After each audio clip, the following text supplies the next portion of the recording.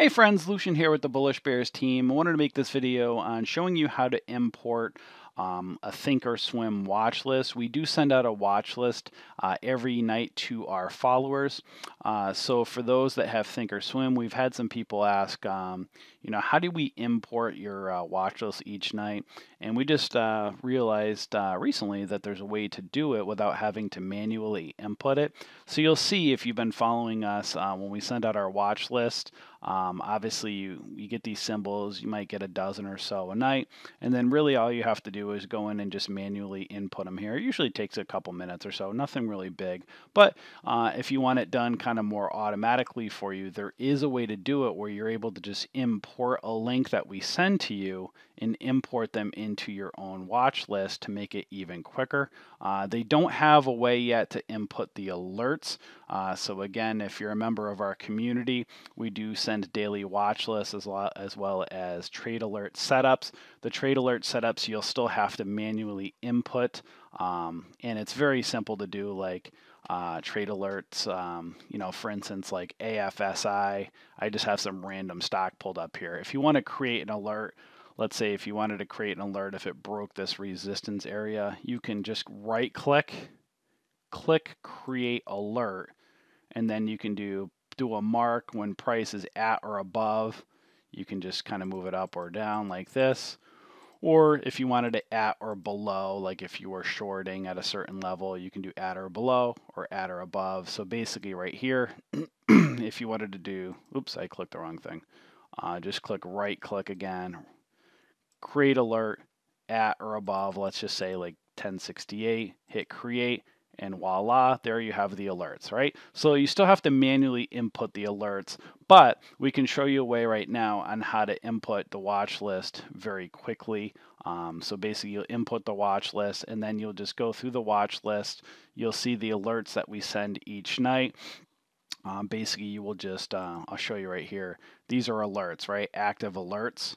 So you would just go into each one, let's say just for instance BOX. Uh, let's type in, well, I'm just going to remove this alert by the way. BOX.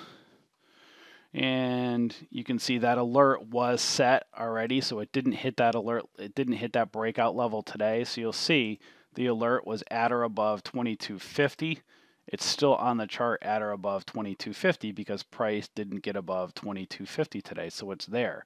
But all you would have to do is just again go right up over here to 2250, hit right click, create alert, and just move price up to 2250 and voila there's the alert so that's the only thing you're really going to have to do manually so now rather than just having to manually just click on these and like type in let's say you know let's just just putting in random symbols. Instead of having to do this each night um, like this all you would do is import it. So I'm just going to create a new one just to show you an example and I'm going to show you how um, to just move it or to import it.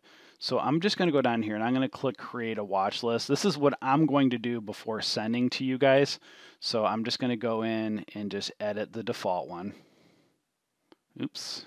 Here we go I'm just going to remove these symbols. I'm going to put some random ones in.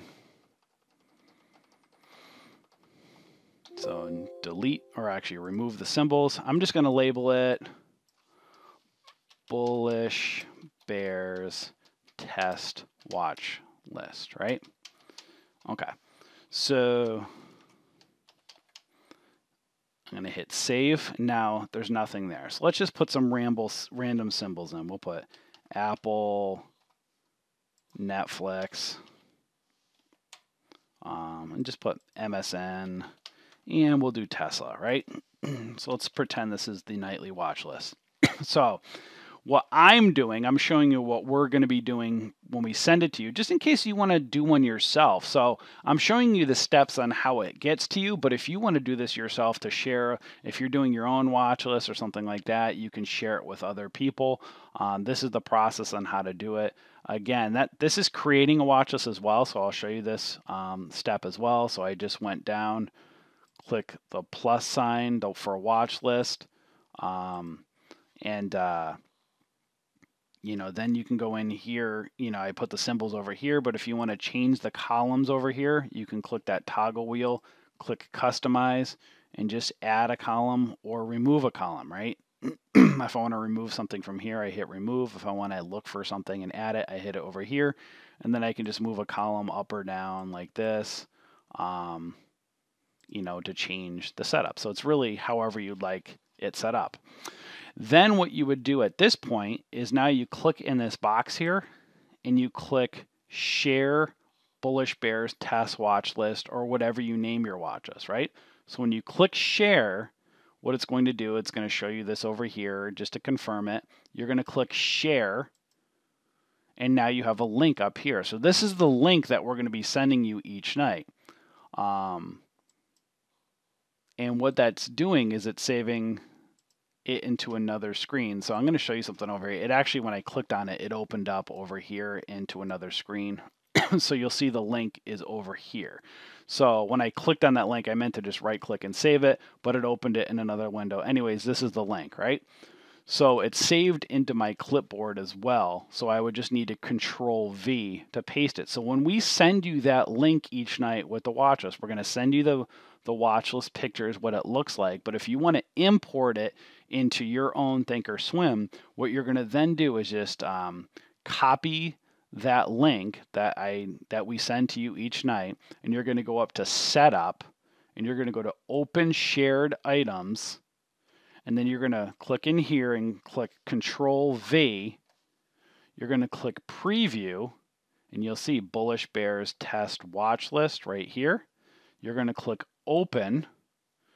And then it says uh, the watch list has been saved from Bullish Bears on January 5th, um, Two, you can either hit OK or you can click rename. So we're just going to click OK for right now, um, just so you see where it pops up, and then we'll do another one with renaming it.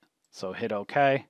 I'm going to go to some random one, and then let's go over here. You should see Bullish Bears test watch list. Click on it, and voila, there they are. So those are the four symbols that we just did, okay? So let's do it again, and this time we'll share it and we'll change the name of it, just in case you want to change the name of uh, the watch list itself. So I'm going to share it. I'm going to click share, right? You're going to get the link here. Um, so obviously I click on it here, it shows it right over here, but it's in my, um, it's saved to my clipboard. So I'm going to go setup. I'm going to go to open shared item, control V, preview. There it is again. Click open. Now this time I'm going to click rename. We're going to name it um, Bullish Bears Watch List Renamed. Hit OK. Hit OK here. So we'll just go to some random one over here. And now this time it should show Bullish Bears renamed.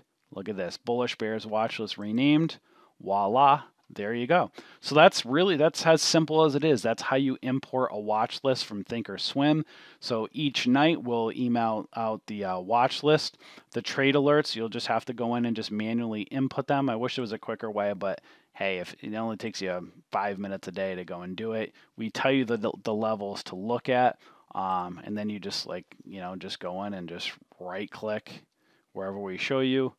Uh, let's just say again, just right click, create alert, and then you can just move the levels up or down. So that's how you manually um, or basically automatically upload or import a watch list from Thinkorswim. You create the alerts each night, and that's as simple as that.